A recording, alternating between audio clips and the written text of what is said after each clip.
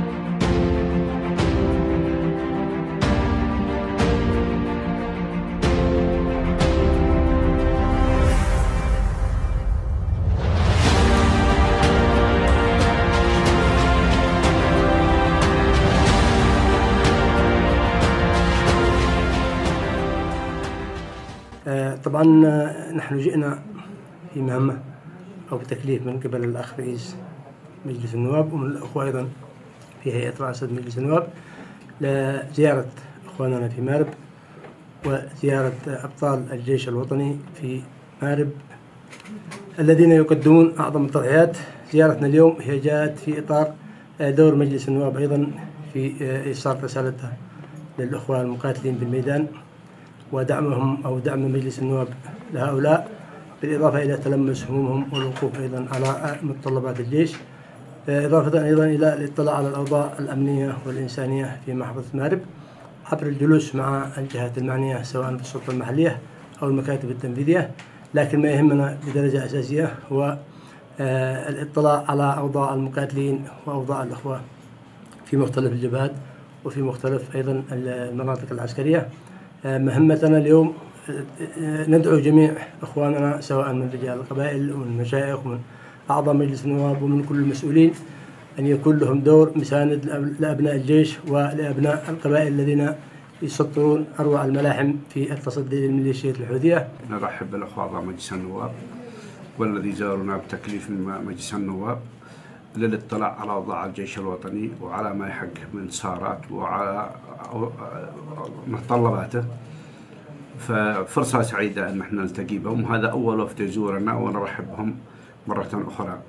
الحقيقة أن إحنا في الجيش الوطني نسعى سعينا كثير جدا وفي الفترة الأخيرة هذه إلى إعادة تنظيم الجيش وهيكلته وفي كل المجالات.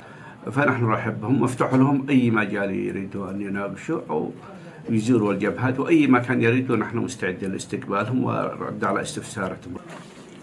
الحقيقة سعدنا يعني كثيرا أن يكون لمجلس النواب لفتة نظر وانتباه حول موضوع الجيش وزيارة الجيش نحن نتكلم عن الجيش ولا نتكلم عن الجيش على أن الجيش مارب والوحدات اللي في مارب الجيش بالنسبة لنا في وزارة الدفاع سبع مناطق عسكرية. في كل محافظات الجمهورية. تقوم بواجباتها الدستورية والقانونية.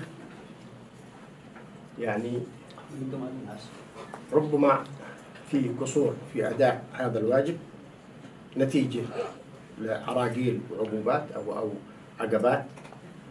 لكن نرى أننا نبذل كل ما نستطيع.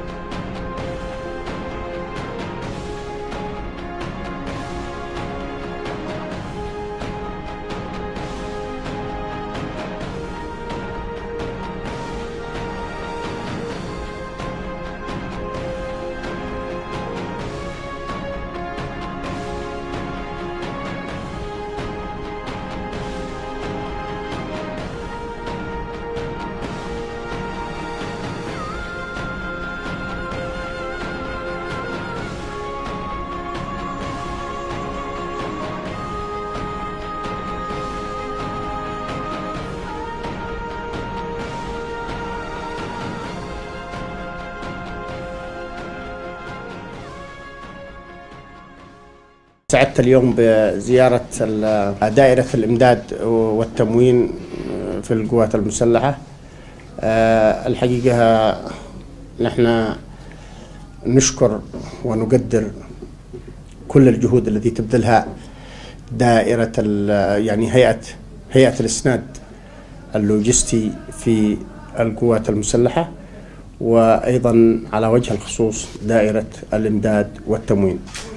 طبعا عمل الدائرة عمل دؤوب عمل مستمر عمل يعني آه، ربما أنه يعني على مدار الساعة. العمل مستمر في دائرة الإمداد والتموين خلال ال 24 ساعة. نحن نقدر هذا الكلام ونقدر هذا المجهود لكننا نطمح ونأمل أن يكون هذا العمل آه، آه، مكلل بالترتيب والتنظيم وأيضا أن يكون ال- النظام ال- ال- الذي يدير هذا العمل في دائرة الإمداد والتموين هو نظام محاسبي آه، يعني إلكتروني آه، يضبط كل الأعمال داخل دائرة الإمداد والتموين. نحن نعرف أن هيئة الإسناد ودوائرها يعني تقوم بعمل آه، منظم ويعني آه، مرتب آه، لكن دوائر هيئة الإسناد والدعم هيئة الدعم والإسناد اللوجستي آه، لابد أن تكون أكثر دقة وأكثر تنظيم ولن يؤتى ذلك إلا يعني المضي في العمل بالنظام الإلكتروني. الحقيقة دائرة النظم آه، تعمل آه، بجهد يعني غير عادي ويعني تقريبا إن وصلت إلى مستوى لا بأس به في ترتيب ال- النظام في أكثر من دائرة. واليوم نحن يعني بإذن الله تعالى وبتوجيهات القيادة العليا ندشن آه، ال- العمل في دائرة الإمداد والتموين آه، بالعمل في النظام الإلكتروني آه، حسب ال- ال- النظام الذي أعطي من دائرة النظم والمعلومات. أشكر الجميع على كل الجهود المبذولة وطبعا ال- النظام المحاسبي يسعد الجميع ويجعل من الجميع يعني يثق كل الثقة على أن العمل يجري داخل هذه ال- ال- ال- الدائرة بشكل يعني منظم لا يستطيع أن يزايد عليه المزايدون والذين دائما لا يعجبهم العجب ولا يعجبهم أي عمل منظم. شكرا لكم وشكرا على جهودكم وسنكون معاكم في يعني في هيئة الإسناد بناء على تعليمات القيادة العليا وأيضا تعليمات معالي وزير الدفاع آه، من أجل الوصول بالأعمال الإدارية إلى المستوى الذي يتطلب آه، تطلبه المرحله وأن نصل بجيشنا الوطني بشكل عام إلى المستوى المطلوب الذي يجعل منه جيش نموذجي يجعل منه الجميع يثق في هذا الجيش بكل فئات الشعب من أجل تحقيق الأمن والاستقرار لليمن وشكرا لكم والسلام عليكم ورحمة الله وبركاته.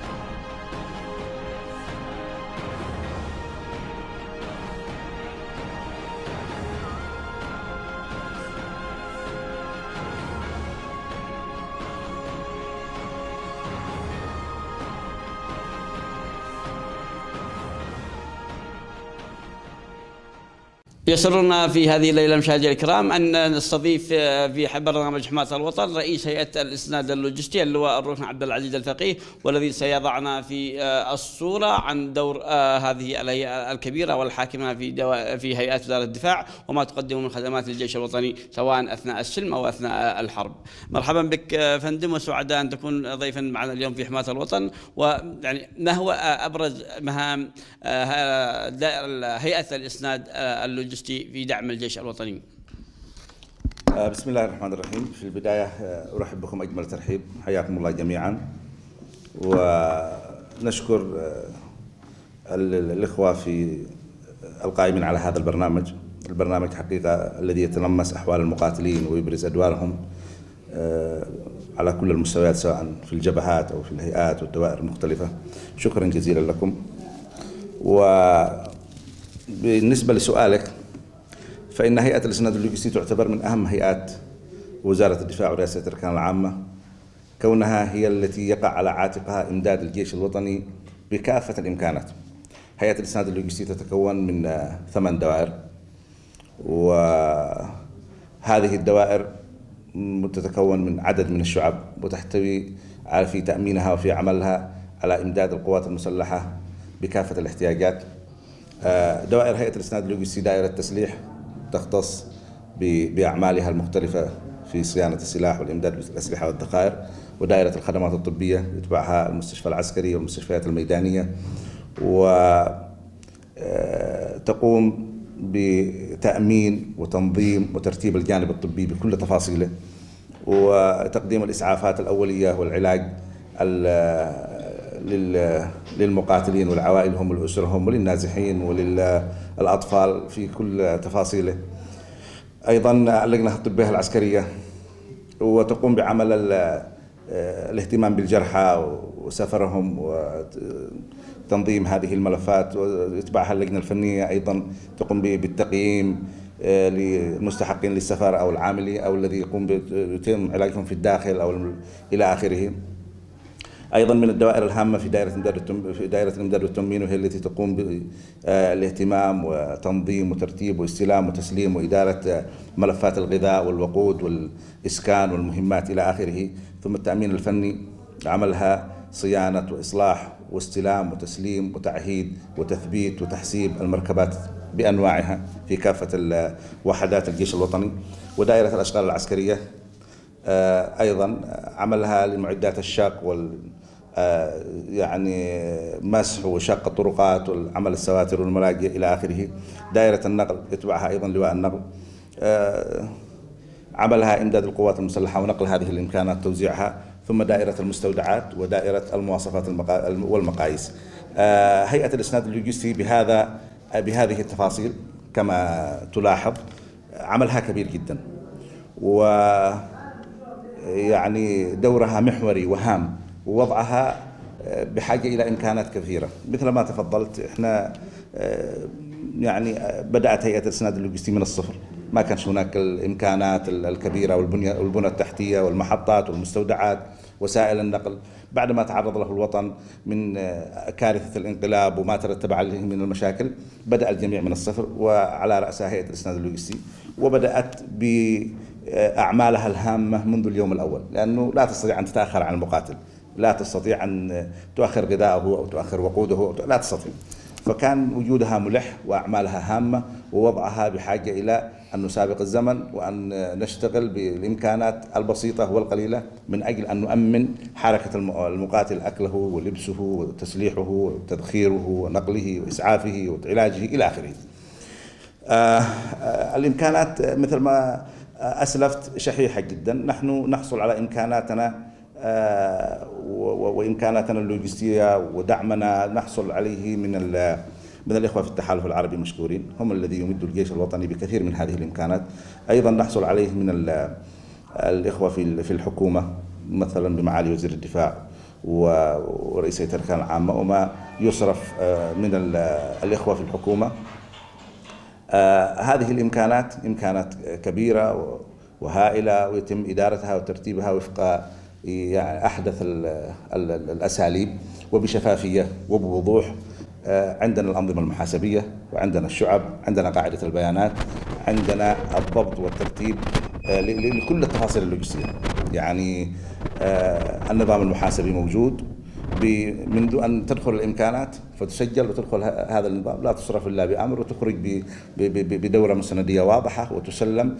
وبفضل الله عز وجل آه، أدخلنا الأتمتة في آه، يعني بقدر كبير جدا. وصلنا إلى مراحل متقدمة.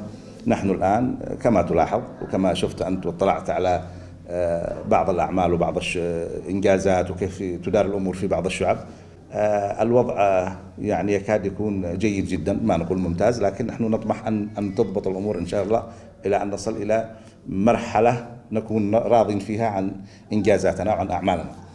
آه، نتطور كل يوم نتقدم كل يوم نحسن نجود نرتب نضبط نحن ومعنا يعني هؤلاء الشباب اللي رأيتهم هؤلاء الضباط والأفراد وصف الضباط العاملين معنا في الشعب وفي الإدارات بكل تفاني يعني يشتغلوا مثل ما لاحظت أنت زرت هذه الشعب وأطلعت على كثير من الأشياء. يعني عملهم على مدار الساعة. آه، بصحيح في هناك شحة في الإمكانات طلعت على بعض المشاكل لكن بالمجمل بالعموم الأمور ممتازة. ونحن آه، على رأس هذا العمل نكابد ونتابع ونحضر وننزل إلى هذه الشعبة وننزل إلى تلك الشعوبة ندلل بعض الصعاب نحل بعض المشاكل ولا زالت معنا بعض المتطلبات والإشكالات التي نطمح لاستكمالها لكن ال- العمل يعني يسير بصورة صحيحة. محققين مبدأ الشفافية مبدأ المراقبة مبدأ ال- ال- الأتمتة. الأمور هذه نحن حريصين عليها أن تكون أن يكون عملنا واضح ونستقبل في هذا الصدد عدد من اللجان التي نزلت سواء من الإخوة في الحكومة أو من الإخوة في مجلس النواب أو من الإخوة والذي كان في في عندهم بعض التصورات ويعتقدوا أن عملنا بدائي لكن عندما جاءوا وجلسنا معهم واطلعوا على سير أعمالنا حقيقة يعني ما كنا نتوقع مدى دهشتهم وانبهارهم يعني بهذا العمل.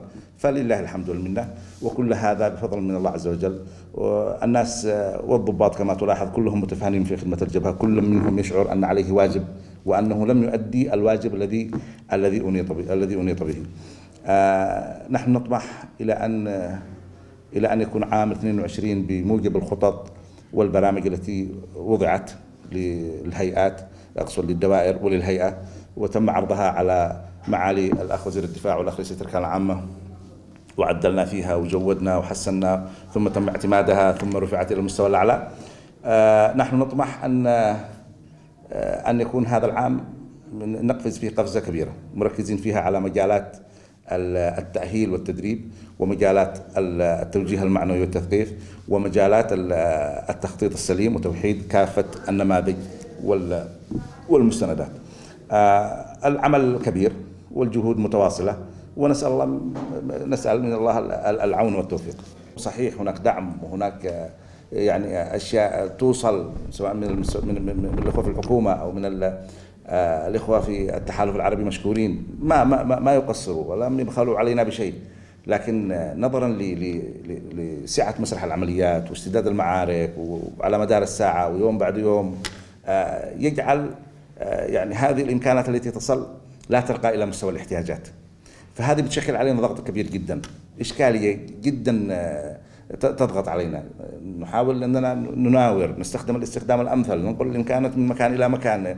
يعني ال- ال- المجاهد أو المقاتل في الموقع بحاجة إلى إلى تأمين الأكل إلى تأمين ال- الشرب إلى تأمين الملبس إلى تأمين الإيواء إلى تأمين الخيمة إلى تأمين ال- ال- النقل إلى تأمين الإسعاف إلى تأمين الإخلاء إلى الخدمات الطبية إلى السلاح إلى الذخيرة إلى إلى كل شيء. هذا الشق الأول. الشق الثاني مثل ما تفضلت نحن في مأرب آه، مأرب كل مرافقها والسلطة المحلية فيها كانت مجهزة من سابق لاستيعاب ولخدمة عدد محدود جدا من من البشر. صحيح. آه الآن مع كثرة النزوح وكثرة المخيمات والبعض قد نزح أكثر من مرة ثم تساقط ال- الصواريخ الإجرامية على رؤوس الساكنين وعلى رؤوس ال- المدنيين وعلى مخيمات النازحين هذا يشكل عبء علينا. لأنه من الذي يبادر آه، إلى مخيمة النازحين أول أول أول مرة؟ ما ال- ما الذي يحضر الإسعاف؟ هي هيئة الإسناد اللوجستي نحضر الإسعاف من دائرة الخدمات الطبية ومن اللجنة الطبية مباشرة. من الذي يعالجهم؟ من الذي يأتي بالشيء ويرفع الأنقاض؟ هي دائرة الأشغال فأقصد هذه الإشكالات تشكل علينا عبء إضافي، نحن نشتغل على مسارين وعملنا في هذا الجانب عمل كبير، سألت ان تركز على دائرة الخدمات الطبية. آه، حقيقة آه، المستشفيات العسكرية يقع على عاتقها ضغط بشكل كبير. سواء المستشفيات العسكرية والمستشفيات السعودية الميدانية بسبب أنها ت- تعالج الجريح وتعالج المقاتل وت- وت- وتضمن علاج أيضا ال- أسرة المقاتل وأبنائه وأطفاله والنازحين آه، فهناك ضغط بشكل كبير جدا. نحن آه، من هذا المقام نشكر مركز الإسناد الطبي في قيادة قوات التحالف حقيقة بيرفدنا بين الحين والآخر بكميات أدوية آه، كبيرة وهي تساهم في تخفيف هذا العبء لا شك في هذا المجال أقصد. آه، لكن نظل الحاجز ظل الحاجز آه، سواء إلى بعض الأصناف التي المحددة التي لم تصل أو حتى إلى الكميات لأن الاستهلاك كبير جدا. مأرب أصبحت آه، مزدحمة بشكل كبير جدا. و, و والناس والمعركة تستهلك في في في كافة الجوانب اللوجستية. آه، ف آه، لكن أنا أطمنك أنه بتضافر الجهود. ولا نغفل دور السلطة المحلية. حقيقة الإخوة في المحافظة في مكاتب المحافظة في مكاتب الصحة في مستشفيات الهيئة آه، في حتى المكاتب المختلفة للسلطة المحلية يقوموا بدور كبير جدا في هذه الجوانب. وهناك تكامل وتناسق وعمل وتفاني في هذا العمل على مدار الساعة. وهذا حقيقة ما ما ما يساهم بشكل أو بآخر آه، في التغلب على هذه الصعاب.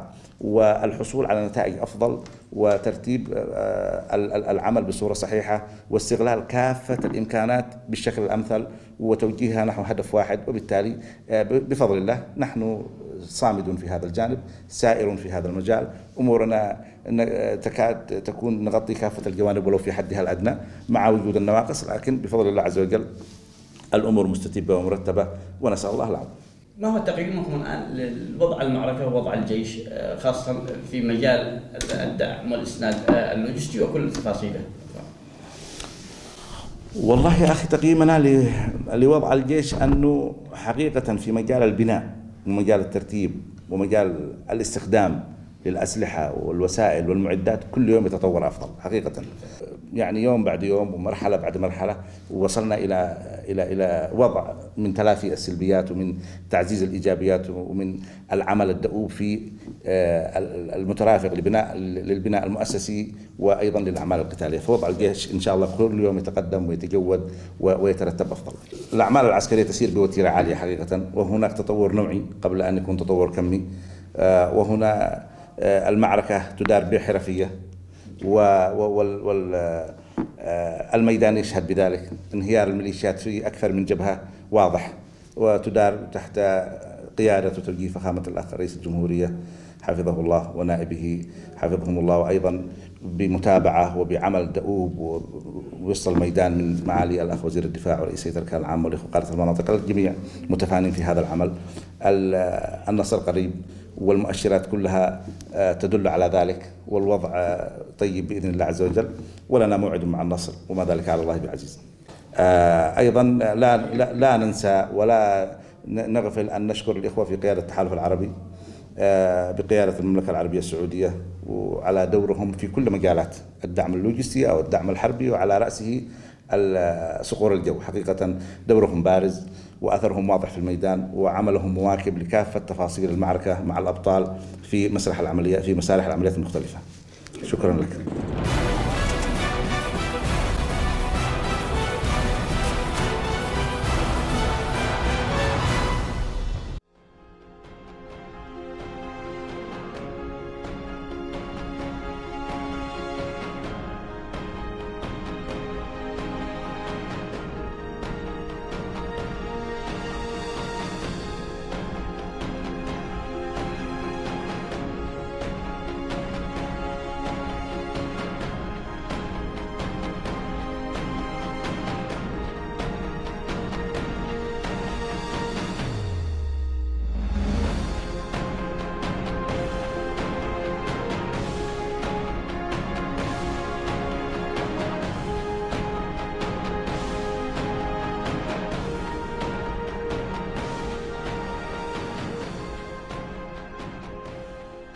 أنا أتقدم بصادق التحايا للأخوة الأبطال الذين يرابطون في هذه المواقع. وننقل لهم تحيات آه، إخوانهم رئيس وأعضاء رئاسة وأعضاء مجلس النواب. ونحيي جهودهم المباركة. وهم يذودون عن عن الوطن ويذودون ويدافعون عن الثورة والجمهورية. ونقول لهم أنتم تؤدون أصدق وأسمى رسالة وعلى أيديكم إن شاء الله. سيستعيد الوطن آه، حريته وكرامته. لإخواننا آه، أبناء اليمن ال- المتواجدين في مناطق سيطرة الميليشيات. نقول لهم اليوم الميليشيات تدفع برموزها من قوى الكهنوت إلى الميادين لكي يقوموا بحشد أبناء الق- القبائل حتى يأتوا يدافعوا عن هذه الميليشيات وعن هذه القيادات. آه، إذا أردتم أن تطيلوا يعني فترة مع- معاناتكم أو مأساتكم أو همومكم فلتستجيبوا لهم. لكن في واقع الحال عليكم أن تحافظوا على أبنائكم وعليكم أن تقولوها صراحة على أن أبناء الشعب اليمني لا يمكن أن يكونوا مطية لقوى الكهنوت تدفع بهم حيث تريد على أساس آه، تحقيق أهدافها الدنيا.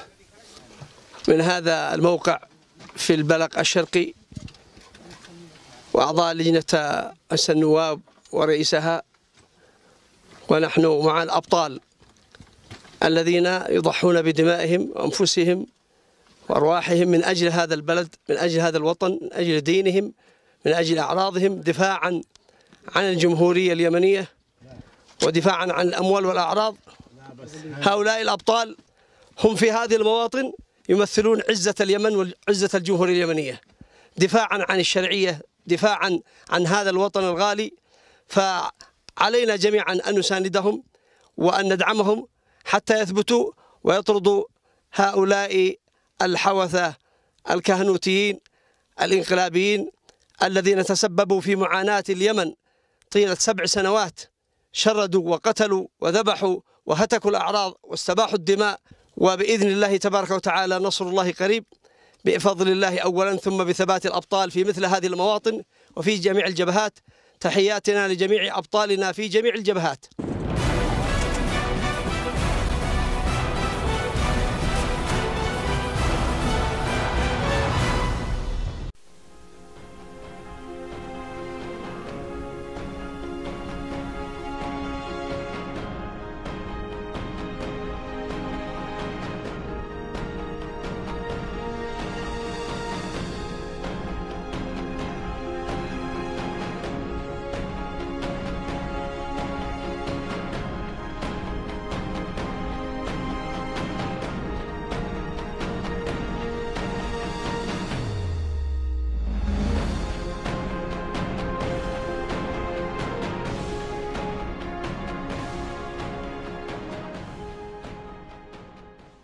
بسم الله الرحمن الرحيم. نحيي جميع إخواننا أبطال القوات المسلحة الذين يؤدون واجبهم الوطني منذ أن انقلبت ميليشيا الحوثي الإرهابية. آه، على الشرعية وسلبت مؤسسات الدولة ونهبتها وقضت على كل ما هو جميل في اليمن.